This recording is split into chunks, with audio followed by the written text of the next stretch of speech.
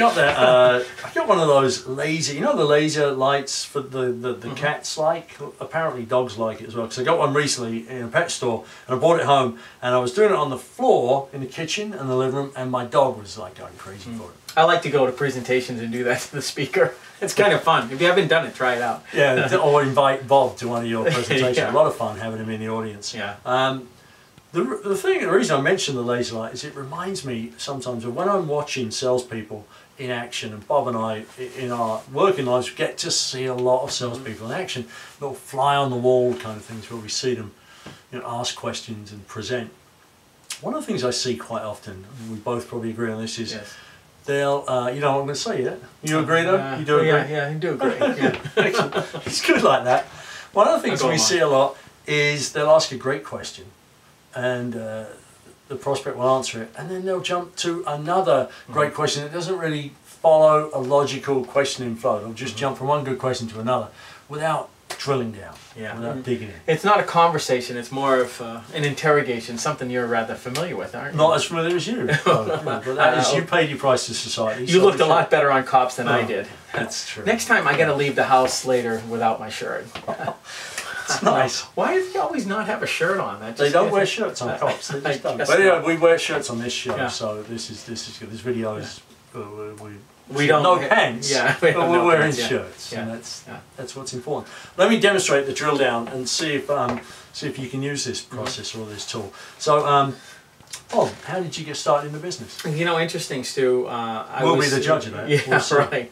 Um, I was uh, with Alamo Rent a Car for many years, actually, a little over 12 years, and we had a company come in that was doing some work with us, and I took an interest in it. And uh, a little, uh, very soon thereafter, I joined this company that does this type of work, and so that's kind of how I get into it. What is it about this type of work that you liked? Well, I like helping people, and that's kind of what I enjoyed doing in my old job, and this allowed me to help even more people and be laser focused on that. And How do you think um, how do you think we help them? I think we help them by uh, providing them very practical and tactical skills that they can put into play uh, really easily. Uh, and when they do that, they actually are making progress. They're seeing success. You know, helping them do the little things they know they need to do.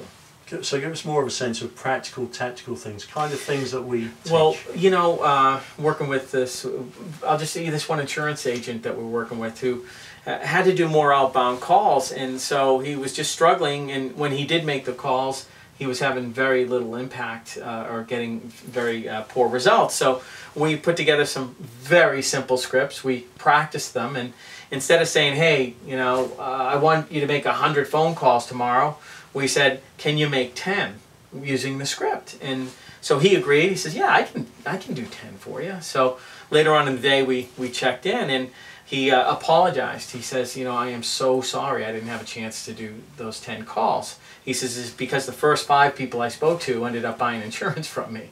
So I think it's a great example of how you know we can help people do the right things by just helping them with the simple things, getting them going, and putting them into action. Nice. And we are good at simple things. Yeah, you especially. I am especially good.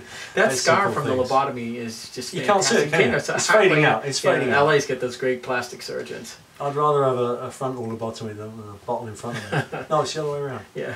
Anyway, that's the Yeah. uh, that's the drill down process. So all you're doing is you're trying to trying to not think about anything, Mm-hmm. which is hard for us. It's easy for Bob, but it's hard for most of us to not think about anything. When your client's talking, what you're now trying to do is listen for one word, create a new question, and go with that question. Okay, so we got to help them. What should we ask them to do right now? Listen. Mm-hmm. Listen, ask a great question. Obviously, we'll leave that to you, but ask a great question. Listen for one word that you can form a new question, which will be a logical flow, and your prospect is going to feel as though he's really being listened to. Mm-hmm. And I think you're going to find better results. So, listen, get that one word, form a new question, practice. And uh, I might even challenge you to think about your very next appointment. Write down a few good questions, uh, and just be deliberate about listening, slowing things down a little bit, giving your client some time to think about that answer. And you'll be even more conscious about it. If you have some great results from that, we'd love to hear from you. Send us an email. Thanks. Thanks a lot. Thank you.